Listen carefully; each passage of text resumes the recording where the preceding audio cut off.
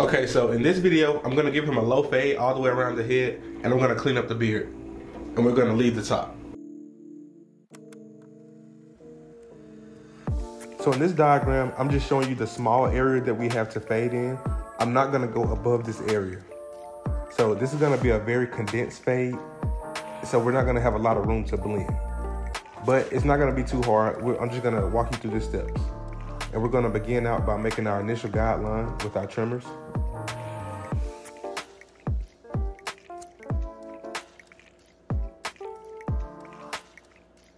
Okay, now when we take the clipper and the lever is fully open, we're not gonna go up a full inch.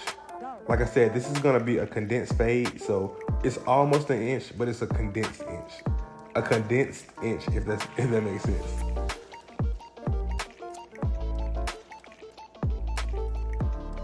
So this type of fade, it's a lot of flicking with the wrist. It's all about your wrist technique and using the corner of the blade.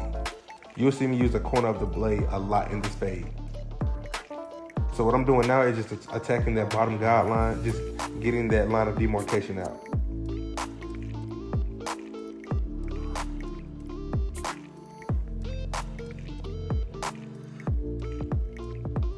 And notice how he has a high rise already above his ear. So that's why that's why I didn't take the fade up initially. Excuse me, that's why I didn't take the ball guideline up that high initially. When someone has a natural a high rise, a naturally high rise above the ear, you don't have to take the guideline up that high. But as you can see, we're just following the same steps like we would any other fade, and you can see the line disappearing. And notice how I'm using the corner of that blade. Okay, so here we take the zero guard with the lever fully open. And we're gonna do most of our blending with just this guard right here. So notice how I'm not really digging. I'm going in a flicking motion because like I said, we don't really have a lot of room to blend. So I'm creating this next guideline with a flicking motion. And as you can see, it's a small guideline as well. It's not a full inch, it's very condensed.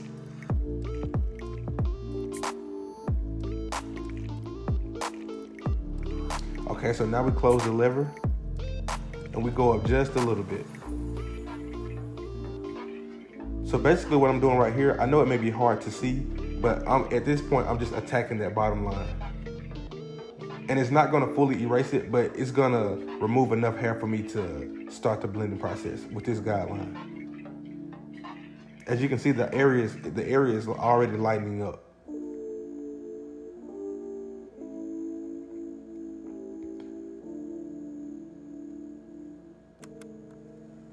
And notice with this fade, I'm gonna leave the C cup dark. Well, the area near his arches, I'm gonna leave that dark.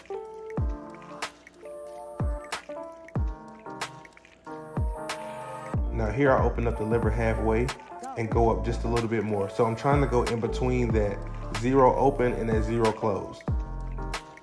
Like I said, I know it's a tight space, but the key to this fade is that you don't want to go too high. Now I know a lot of people they don't like doing these type of fades because you really have to take your time. When you're doing a normal fade and you can stretch the blend, it's a lot easier to fade that way. But when you're doing a condensed blend, you really have to take your time and stay within your guidelines. So you have to stay within those small constraints. And notice how right now I'm just kind of raking out with the with the lever. I'm really just trying to attack bulk at this point. I don't want to create a guideline, but I'm just trying to lighten up the area. The area. And here I just went ahead and took the one and a half guard. And notice how I'm gonna flick out. I'm not really gonna dig, I'm just gonna kind of flick at that weight line. Because he wants to keep the majority of his curls, that's why I'm doing this fade so low. Okay, now here's the, where the majority of the blending is going to take place with the lever fully open. So you're just gonna see me slightly open and close this while I'm doing this process. But this is where the majority of the blending will take place.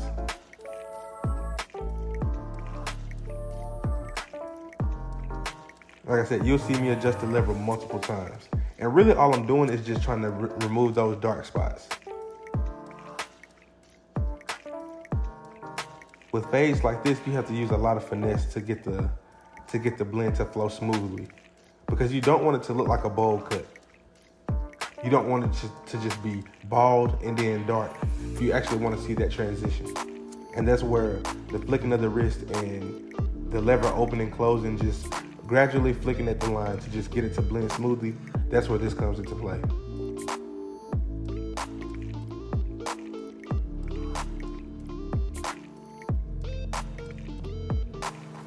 And you especially have to make sure you blend enough around the arches, around the C cup, whatever you want to call it. You have to make sure that you blend carefully around here because if you turn the head a certain way, it won't look blended. So you have to make sure you turn the head at certain angles to make sure you got a nice clean blend.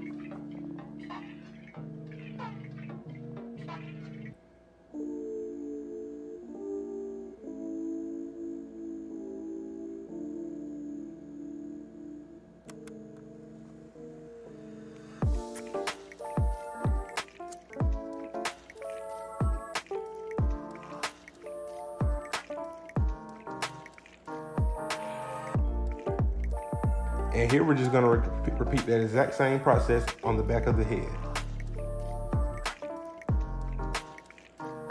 Like I said, it, this side is, the back of the head where I fade this area is sped up a little bit, but like I said, that's because I did the exact same steps on the left side. So if you get lost following along with this, all you have to do is just rewind back and I'll do the exact same steps on the left side. So the golden rule to fading, whatever you do to one side, you have to do it to all sides of the head. That's how you get that's how you get consistent results. You have to do the same thing over and over and over again. But that's also the beauty in barbering. You're doing the same steps, but you have so many different hair textures. And the steps are the same, but sometimes you just have to maneuver the clipper a certain way or you have to be careful with certain hair textures. So that's the beauty in it. You're doing the same thing on a regular basis, but you're just being challenged in different ways. That's what I love about barbering.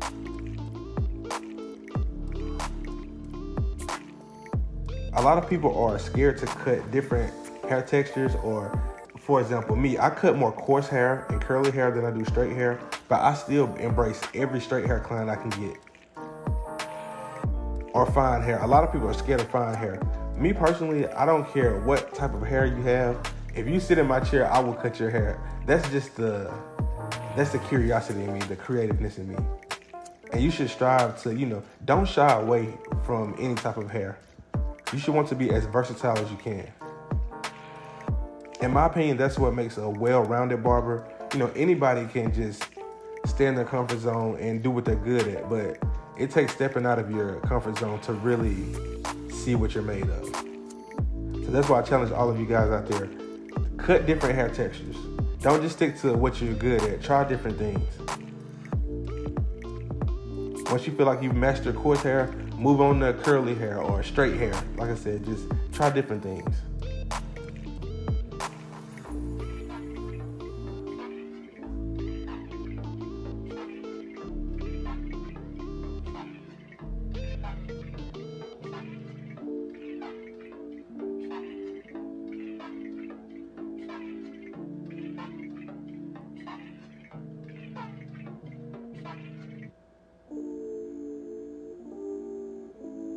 So now we're moving on to my favorite part of any haircut, and this is the lineup, and this is basically the icing on the cake.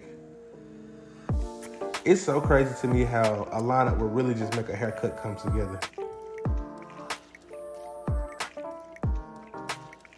Let me know what you guys think in the comment about this fade. Like I said, a lot of people don't like cutting these short blends, but whatever the client wants, the client gets. So you have to be able to do a number of different type of fades. It's all the same haircut, it's just different variations. Let me know what you guys think in the comments. If you've gotten value out of this video, subscribe if you're new to this channel. Thank you guys for watching, and I will see you guys on the next video.